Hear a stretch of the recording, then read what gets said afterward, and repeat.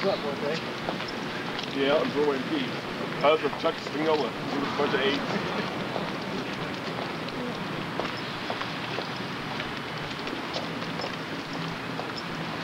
Whoa.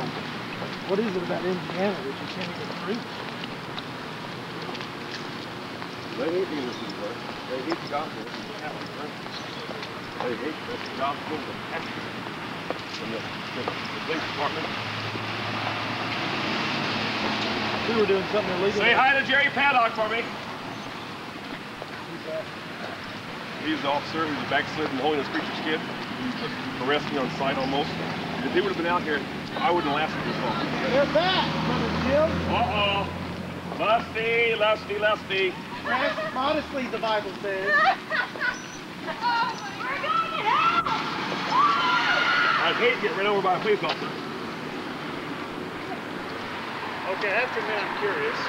All right, great. Glad to hear it. Watch the news tonight, 6 and 9. Watch chapter 7. Stay up. I was saved here, never joined the other ah. other stadium in the band down.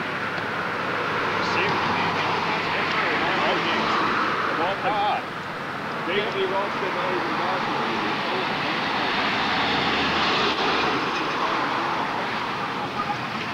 See my sign? All the police officers back there. All right. Try to drown out the guilt. Let's go.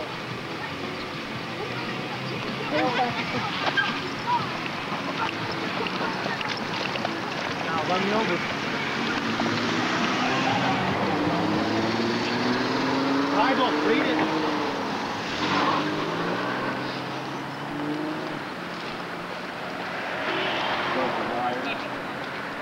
Even these full of liars. They're just God in the liars. What time is it now? There's still a sinners over in the league. Really? Yeah. Where you guys headed? Oh, this way. Watch the news tonight, 6 and 9. Fox News. Fox News tonight.